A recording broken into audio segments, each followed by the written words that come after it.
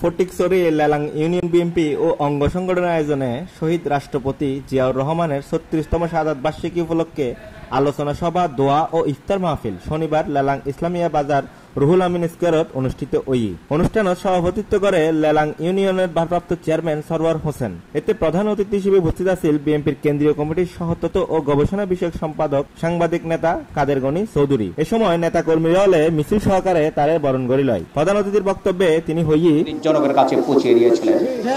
সেই জন্য আজকে জিয়াউর রহমান এত জনপ্রিয়।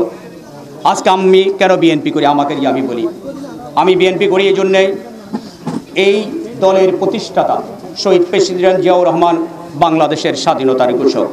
সেদিন যদি জিয়াউর রহমান স্বাধীনতার ঘোষণা না দিতেন আজকে বাংলাদেশ নামক রাষ্ট্র লাল সবুজের পতাকা স্বাধীন দেশের নাগরিক হিসেবে আমরা নিজেদের পরিচয় দিই। কেউ কেউ বলেন অমুকের পক্ষে তিনি বক্তব্য দিয়েছেন অমুকের পক্ষে। আমি বলি যেদিন জিয়াউর রহমান স্বাধীনতার ঘোষণা দেন, সেদিন জিয়াউর রহমান স্র্যাব একজন মেজর। সেদিন যদি রাষ্ট্রীয় সিদ্ধান্তে কিংবা দলীয় সিদ্ধান্তে যদি সিদ্ধান্ত হতো, সেটা সেনা প্রধান বা সেনাবাহিনীর সর্ব উচ্চ ব্যক্তি সেদিন স্বাধীনতার ঘোষণা। সেই মুহূর্তে জওরাম দেশপ্রেম উদ্বুদ্ধ হয়ে এই বাংলাদেশকে বাঁচানোর জন্য সেদিন স্বাধীনতার ঘোষণা দিয়েছেন, এটার একত্রিত রহমানের আমি বিএনপি রাজনীতি করি এই কারণেই। আমাদের জাতীয়তাবাদের কোনো পরিচয় ছিল আমরা কোন জাতি? বলতে বাঙালি। বাইরে গেলে প্রশ্ন বাঙালি, তুমি ইন্ডিয়ান বাঙালি না বাংলাদেশের বাঙালি? জাতীয়তাবাদের সুনির্দিষ্ট কোনো পরিচয় সেদিন আমাদের ছিল না। সেদিন রাষ্ট্রপতি জিয়াউর রহমান আমাদের বাংলা সেই জাতীয়তাবাদের পরিচয় দিয়ে আমরা যে দেশে কোন জাতি, কোন দেশের নাগরিক সেটার সুনির্দিষ্ট পরিচয় সেদিন রাষ্ট্রপতি জিয়াউর রহমান আমাদের মসজিদে মানুষ কোন হচ্ছে? মন্দিরে মানুষ কোন হচ্ছে? গির্জায় মানুষ কোন হচ্ছে?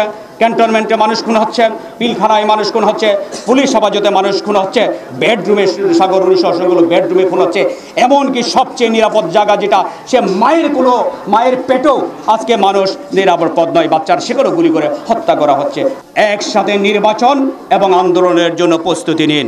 আমরা সরকারকে বলছে, একটা সহায়ক সরকারের অধীনে নির্বাচন দেওয়ার জন্য।